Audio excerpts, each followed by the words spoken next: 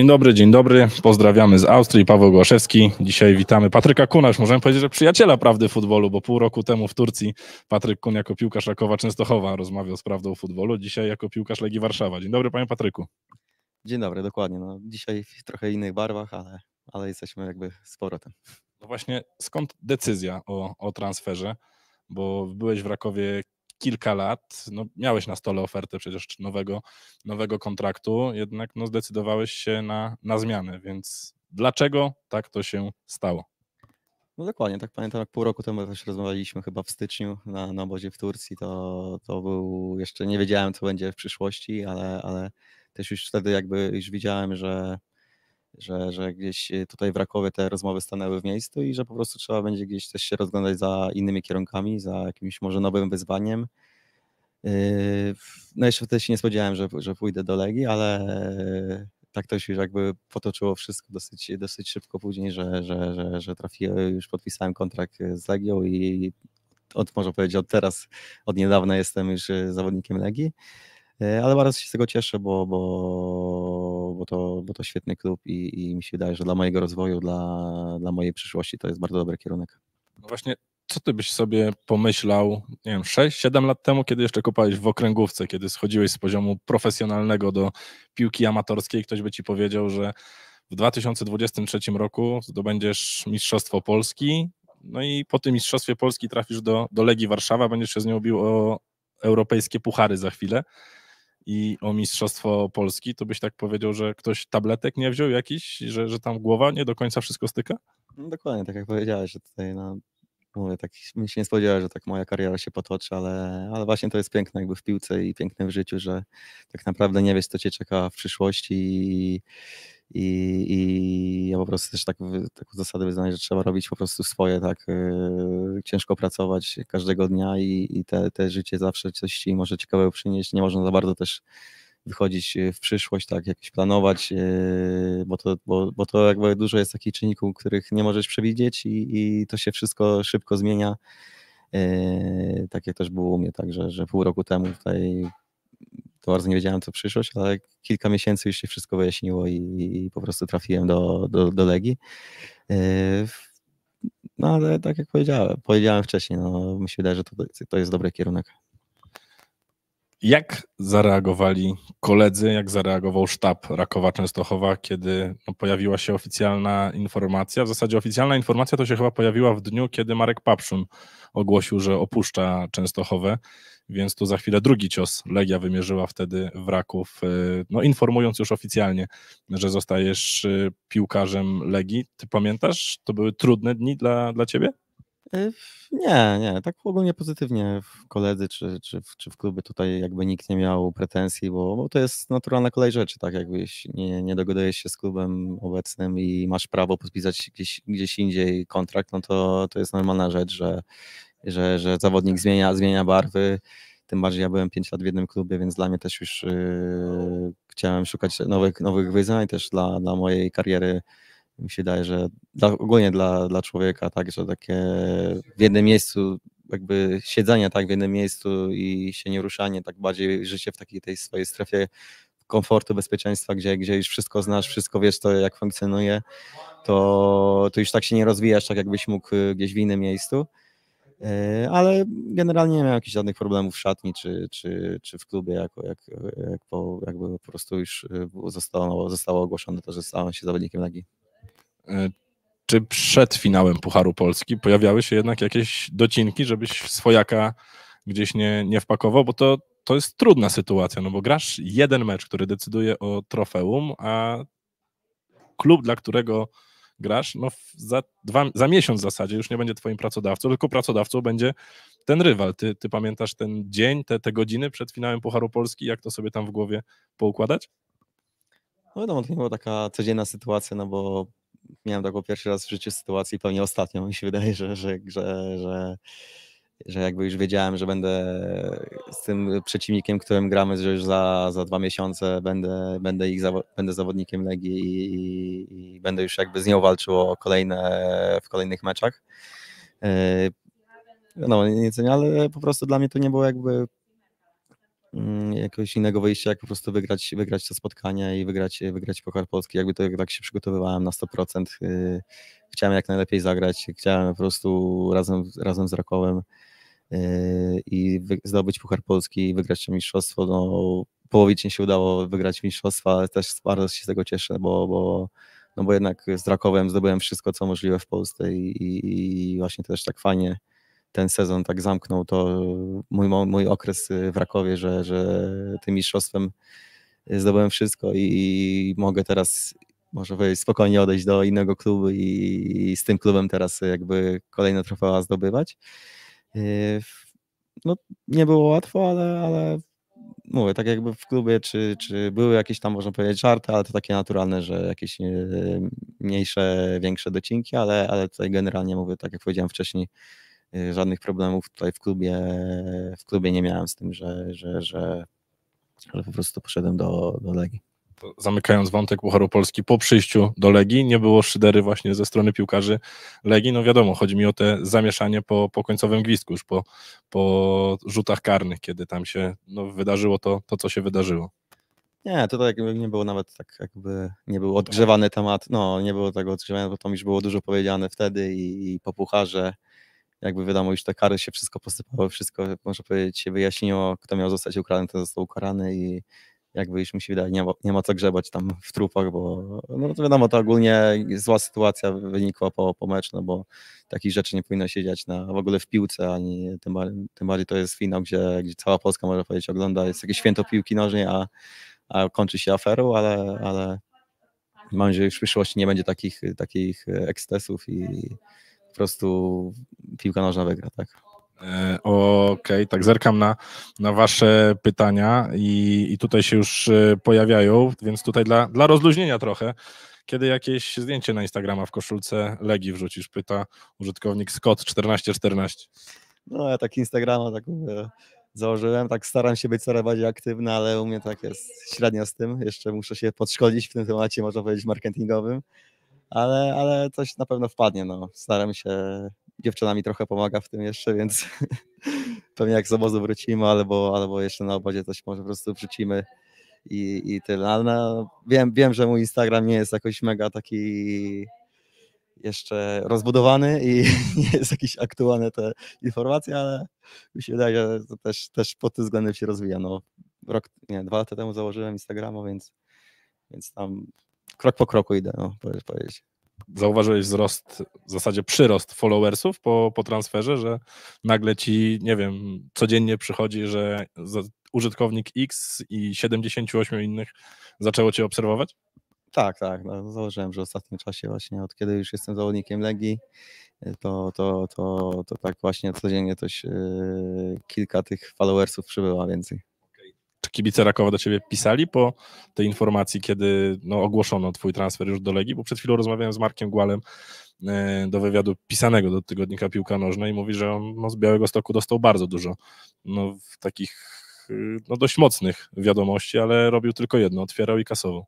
E, ja mam w ogóle chyba poblokowane takie, że ktoś spoza moich obserwujących, kogo ja obserwuję, ma, nie może mi wysłać, albo ja nie mogę odczytać wiadomości, więc tak nawet nie wiem, czy tam ktoś do mnie pisał, czy nie, po prostu yy, tak bardziej staram się jakby nie śledzić tych swoich, yy, jakby tam, co tam o mnie piszą, czy, czy ten, no to wiadomo, że znajdą się tam im właśnie wyżej grasz, im takim bardziej medialnym klubie, to tym więcej masz, można powiedzieć, wrogów, jakichś takich swoich Yy, no tak jak powiedziałeś, hejterów, więc, więc jakby na tym się nie skupiam, no bo, bo to jest naturalne, że, że tutaj na tym już na takim poziomie, gdzie, gdzie ten zainteresowanie jest coraz większe kibiców, to yy, będą i negatywne, i pozytywne, tak samo tych i pozytywnych nie czytam, i negatywnych, ale tak co jak yy, byłem w Rakowie jeszcze i już ta informacja była, no to jak spotykałem na ulicy kogoś, tak, jakiegoś kibica, to, to mi bardziej za, za ten okres, co, co zrobiłem y, dla klubu, co zrobiliśmy razem, można powiedzieć, tak, z kibicami i tutaj nie,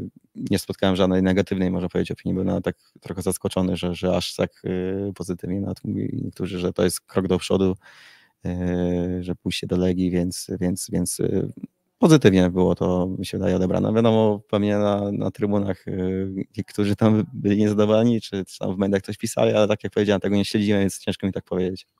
Czy ty w Rakowie doszedłeś już do, do sufitu, w sensie, że doszedłeś do takiego momentu, że wiedziałeś, że już no, bardziej się nie rozwiniesz pod względem indywidualnym?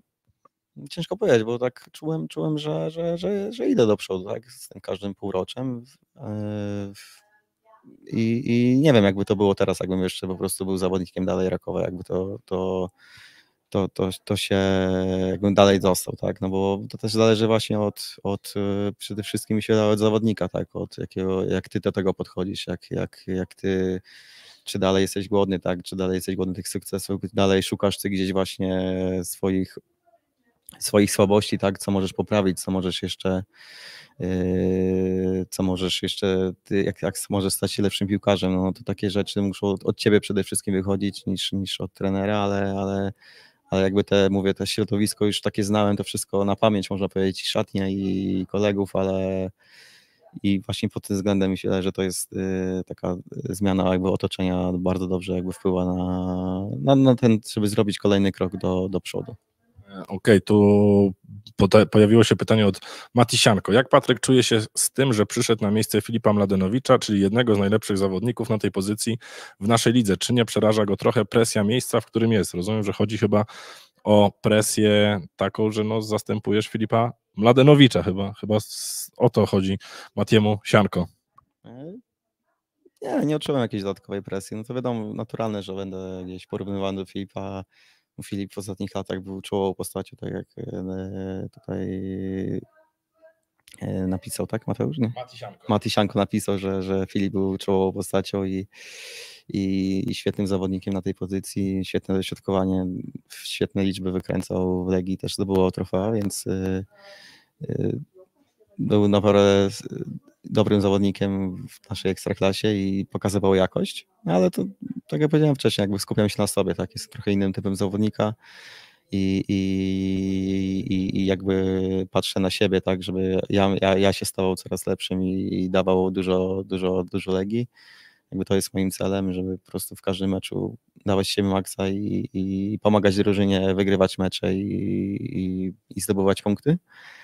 A, a, to, a to jakby naturalne będzie, że, że będę porównywany do, do poprzedników, do, do, do, do Filipa. Artur P. pyta, czy przed przyjściem do Legii rozmawiałeś z kimś z kadry Legii, ale tak nie kojarzę, żebyś z kimś się przeciął gdzieś na piłkarskim szlaku, jeżeli chodzi o tą samą drużynę. Czyli na pewno z Walerianem Gwilia rozmawiałem, bo on y, trenował z Legią w poprzedniej rundzie, tak jak właśnie on też od, byliśmy razem w Rakowie, on y, no, w tych ostatnich miesiącach trenował razem z Lego i jakby od niego mogłem e, zaczerpnąć informacje, bo tak wcześniej tutaj jakby z razem zawodników, którzy teraz są w kadrze, nie byłem e, nie byłem razem w innej drużynie, więc, więc tak też ciężko było gdzieś zaczerpnąć informacje, ale od, od Wako się udało. No to od razu dopytam, to z kim teraz się najlepiej czujesz, bo obejrzałem kulisy, w sensie legijnego vloga z, z pierwszego dnia chyba zgrupowania, to tam cię Patryk Sokołowski wypuścił chyba z wizytą na, na siłowni.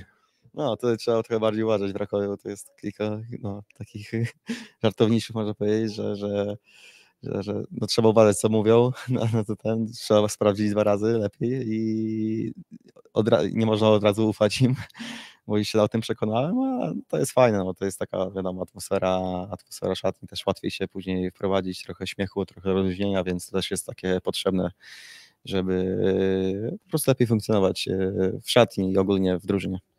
Czy trener Kostaruniajcz wymaga wypracowań po, po meczach sparingowych, jak wymagał tego Marek Papszun, czy, czy tu już masz spokój i, i ręka gdzieś tam odpocznie od, od pisania tych kolejnych? Chyba nie, bo to robiliście elektronicznie, to, to, to palce, palce odpoczną. Z tego co słyszałem, tutaj nie ma już takich e, prac domowych, można powiedzieć, więc, więc chyba głowa trochę odpocznie po meczu. E, okej. Okay. E, tu fajne pytanie się pojawiło. Mateusz e, Bartosz pisze, gdzie widzisz swój sufit, czy najlepsza liga świata? Ma tu na myśli ekstraklasę. To, to ja dodaję, bo, bo to na pewno o to chodzi. I Legia, czy gdzieś dalej, a jak dalej, to, to jaka liga? W sensie, czy ty zakładasz scenariusz, że już do końca kariery nie opuścisz naszego pięknego kraju? No tutaj ciężko powiedzieć, no takie mówię już u mnie to pokazało życie, że, że no nie wiem, gdzie trafisz tak naprawdę i jak to, jak to będzie wyglądać, jak, jak, co będzie za pół roku, no bo to też piłka nożna, dużo, dużo czynników zewnętrznych to wpływa i, naprawdę już tak nie, nie bawię się w takie rzeczy, że gdzieś sobie tutaj o za rok będę w tej lidze, jak tu będzie dobrze, tylko po prostu bardziej staram się skupiać na tej na tej codziennym, na codziennych, y, na codziennym życiu, tak, żeby po prostu z tego każdego, każdego dnia coś wycisnąć dla siebie do rozwoju, stawać się lepszym piłkarzem, a gdzie jakby ta kariera się potoczy, no to, to, to ciężko, ciężko to stwierdzić. No mówię, też nie spodziewałem się, że będę 5 lat w jednym klubie w Rakowie, a później, że będę w Legii, no to tak, tak to się wszystko potoczyło, że no mówię, nie, nie ma szans to tak przewidzieć. No. Taki dłuższy wywiad zresztą z Patrykiem robiliśmy pół roku temu w Turcji, to, to odsyłamy was, bo tam taka rozmowa chyba nawet 45 minut zagraliśmy, tam jest cała historia Patryka pokazana, gdzie już pukał do piłki profesjonalnej, później musiał zjechać do Ligi Okręgowej, dopiero znowu został gdzieś, gdzieś e, odkurzony. To Patryk, tak na koniec e, w zasadzie no, no ostatnie pytanie, twój cel na ten sezon? Ty myślisz, że z tą kadrą dzisiaj Legia jest faworytem do, do Mistrzostwa Polski, bo poprzedni sezon to był taki sezon, kiedy e, wszyscy raczej dozowali te emocje, że powoli, no Puchar Polski plus Puchary to, to będzie ok, ale jednak w tym sezonie ta presja będzie zdecydowanie większa i, i kibice tutaj nie biorą innego scenariusza niż tylko Mistrzostwo Polski. Dokładnie, no, nie ma co ukrywać, że naszym celem jest e, mistrzostwo, bo w poprzednim sezonie Legia zdobyła Puchar Polski i wicemistrzostwo, gdzieś mieli bardzo udany sezon. E, kadra za bardzo się nie zmieniła, jest e, dosyć stabilnie to wszystko budowane szybko też i, i, i to jest bardzo dobre, bo tak jak powiedziałem, widziałem to wcześniej w Rakowie, że, że właśnie takie systematyczne wzmacnianie kadry i zostawianie tych kluczowych zawodników jakby pozwala po prostu dalej jakby rozwijać się jako zespół i, i, i to jest ważne. No to nie, to nie jest łatwa liga ekstraklasna, bo, bo czy Raków, czy, czy Lech, czy Pogoń też nie śpią, oni też się wzmacniają, też jakichś dużych ruchów y, nie widzę w ich zespołach, więc też będzie, nie będzie łatwo, ale mi się wydaje, że jest bardzo duża jakość, jest bardzo dobry zespół tutaj i mi się wydaje, że spokojnie stać nas na, na mistrzostwo. Czy sprawdzałeś, kiedy spotkasz się z Dominikiem na boisku? Hmm, nie, jeszcze nie, nie sprawdzałem, ale chyba jakoś jakoś później, chyba w drugiej połowie tej, tej rundy, tak myślę. To są naprawdę to są wielkie mecze Legii z Widzewem, mecze o świetnej otoczce. Już rozmawiałeś z bratem na, na ten temat, bo on brał udział przecież no, w tych dwóch meczach e, w poprzednim sezonie, że widział to, jak, jak to, to wygląda. Radziłeś się jak e, przed transferem, czy, czy nie? To już tak finiszując.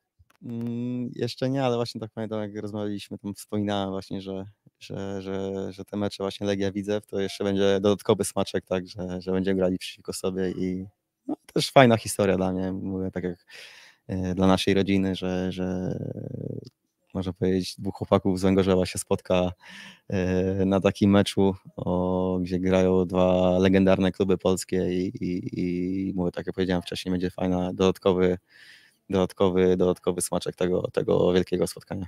Patryk Kun był naszym gościem. Dziękujemy bardzo. Dziękuję bardzo. Łapki w górę, suby, dzwoneczki, to wszystko wiecie o co chodzi. Życzymy Wam miłego popołudnia, udanego e, wieczoru i do zobaczenia. Trzymajcie się, cześć.